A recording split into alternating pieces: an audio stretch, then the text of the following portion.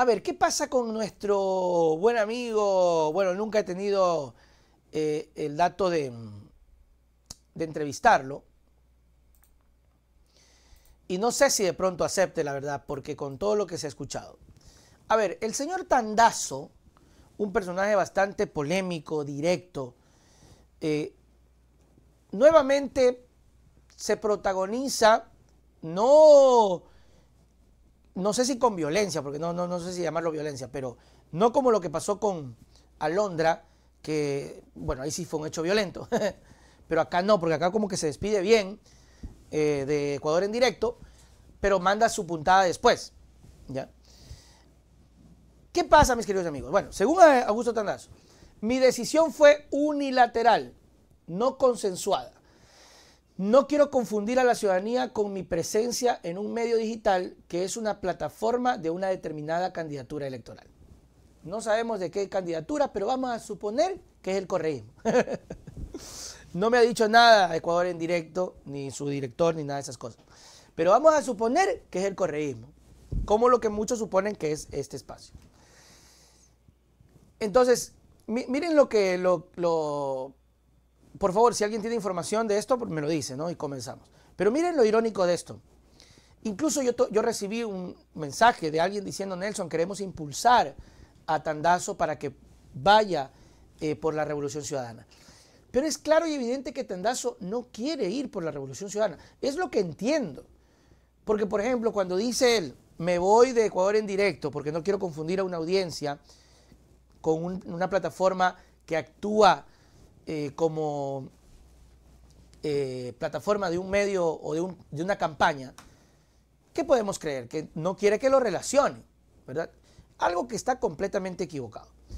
Lamentablemente, mis queridos amigos, eh, es un tema que yo no sé si algún día se supere. he llegado a creer que nunca se va a superar, es decir, la polarización la etiquetación, eh, el prejuicio, ¿ok? De eh, decirte, oh, político, correísta, chao, ¿no? Eh, ah, ¿sabes qué? Te voy a dar chance en mi local, pero ¿sabes qué? Como eres correísta, no. yo no sé si algún día lo superaremos.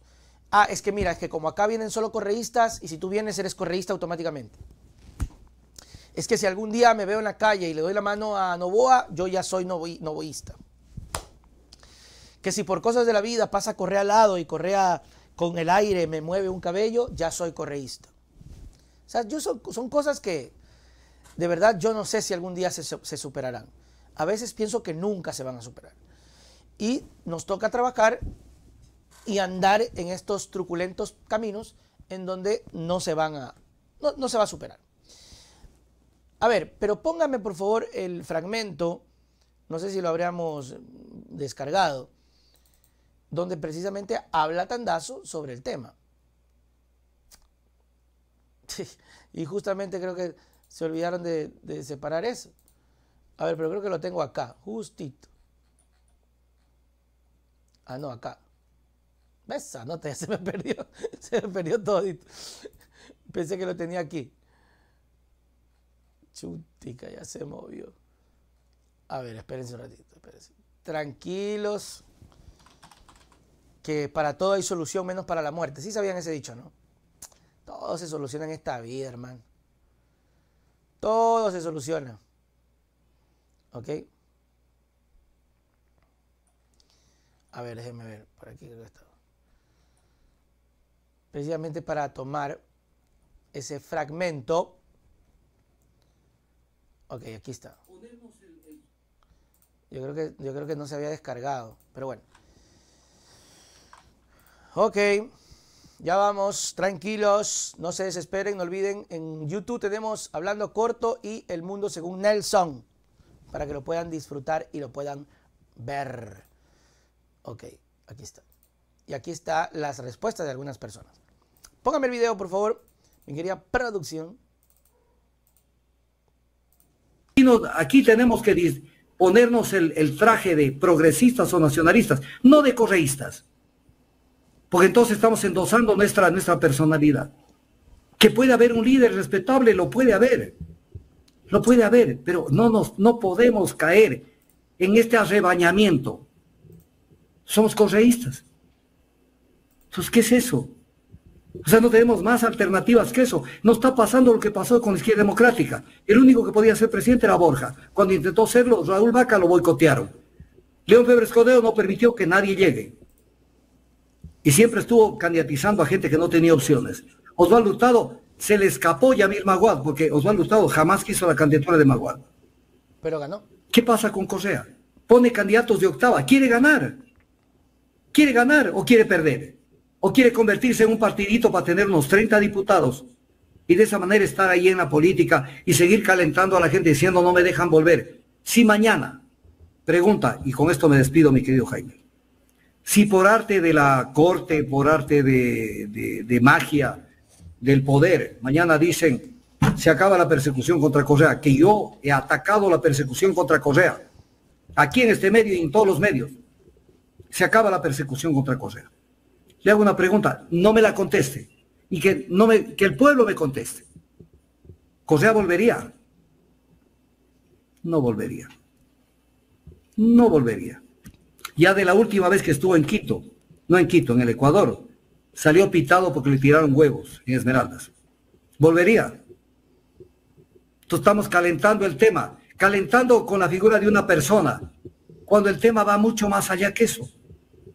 ¿Qué pasa con el país? ¿Qué está pasando hoy con el gobierno? ¿Cómo se lo están llevando al peso? O sea, Luisa González dice, critica y dice, los contratos de alimentación que se ha, sacado este gobierno con su familia. Pero ¿quién fue la familia? ¿Los cinco primos? Cinco. Y la jefa de, los que tuvieron el contrato de, de, alimentación. Y la jefa es la tía de Marcela Guiñaga, Isabelita, que ahora ya se viró y ya volvió a aparecer en la Revolución Ciudadana. Esa es coherencia ideológica. Es coherencia ideológica. Dense un baño de verdad y un baño de agua fría, no me refiero a usted. A la gente de la Revolución Ciudadana y díganme qué mismo quieren. ¿Qué mismo quieren? Pero es repugnante, vergonzoso lo que hicieron con el tema de Diego Borja. Una persona que apoyó decididamente, apoyó el siete veces sí, y el siete veces sí fue dirigido al corazón para que la derecha capte el poder político del Ecuador, el poder real. Y es el candidato a vicepresidente. Por favor, por favor, Jaime, no es que ya reconoció, ya dijo que no sé qué. No, no, señor. Va a pasar lo mismo que con Moreno. le, le hago una pregunta.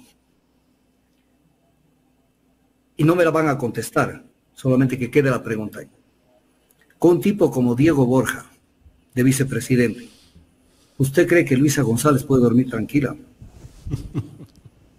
ya, con eso que hacérsela a, Luisa.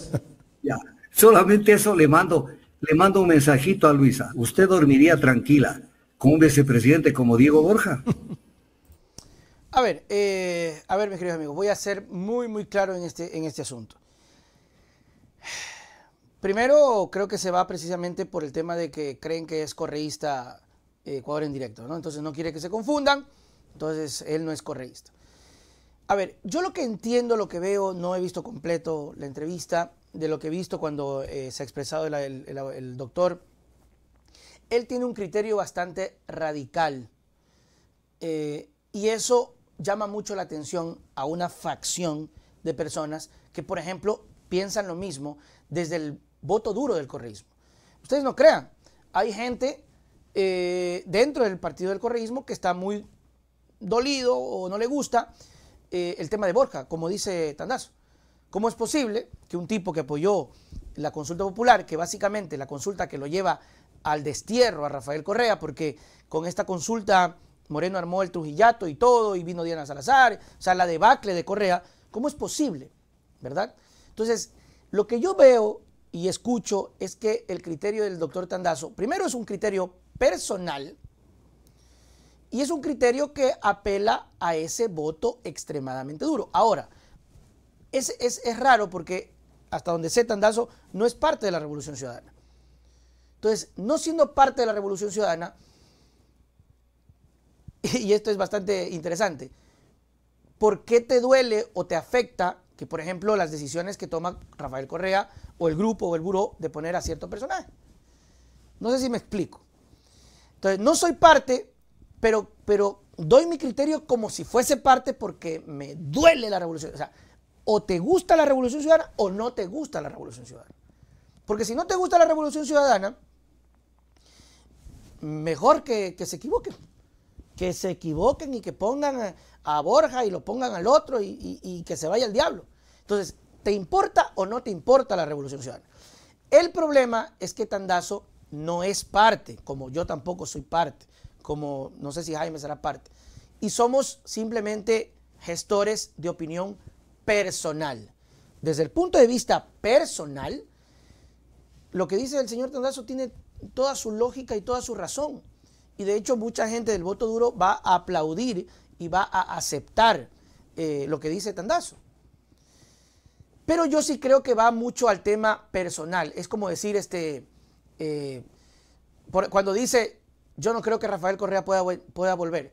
No, no, estamos en el cerebro de Correa. No, no sabemos. No estamos en el corazón de Correa. Cuando dice, si no, si no le atacan y si no le persiguen, Correa vuelve. Y él dice, yo no creo. Hermano, yo no sé si, no, no sé si los propios hermanos de Correa puedan decir eso. Entonces, yo no puedo decir, no, no, no creo que Si el PANA siempre ha dicho que quiere regresar a su país. pero son criterios extremadamente personales. Y yo me imagino que eso en la conversación se aclara. ¿no? Porque eso no, es, eso no es un análisis, eso es simplemente yo creo. Es como decir, yo creo que Novoa no va a ganar. Es mi, criterio personal. Pero me puedo equivocar. Me puedo equivocar durísimo. Y Novoa gana la presidencia. Y Novoa con el 62% arrasa primera vuelta. Pero yo puedo decir, como lo he dicho muchas veces, yo la verdad creo que Novoa no va a ganar, pero puede ganar. Entonces son temas personales. Ahora, lo otro ya es nuevamente personal. Retirarse de un espacio porque lo catalogan correísta, me parece que no está bien, porque imagínense acá, a nosotros nos dicen correísta, vea, yo no, yo no voy a estar, ni lo voy a hacer, a cada persona a explicarle, oye, mira, lo que pasa es que yo no. Si la gente me quiere poner como correísta, póngame. Si la gente me quiere poner como derechista, póngame. Yo invito, hablo, me presento, quiero gestionar.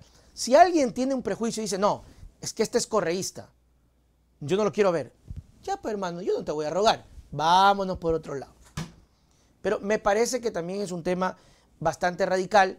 Me parece que caemos nuevamente en el discurso polarizante, en ese discurso pac, pac, tac, que nos ha llevado, que nos ha llevado a nada, y que más bien lo que entiendo de la agrupación, que ojo, no soy parte, no discuto, no tengo voz ni tengo voto, es lo que apela. Entonces decía Correa, palo porque bogas, palo porque no bogas. Si ponían un candidato fuerte, eh, si ponían un candidato de base, como fue la candidatura pasada, Arauz, eh, González Arauz, que solamente entre ellos, que solamente se cierran, que el correísmo no amplía, que el correísmo no abre sus alas. Hoy que ponen a uno que estuvo diciendo fuera Correa fuera, que por qué, que la traición, que Moreno, ¿podrá dormir en paz la señora Luisa? Son, insisto, son opiniones personales. ¿ya? Entonces, si, me vas a preguntar de una opinión personal, está en su derecho. Y no le veo absolutamente nada de malo. Porque es una opinión, que es lo que hacemos nosotros aquí.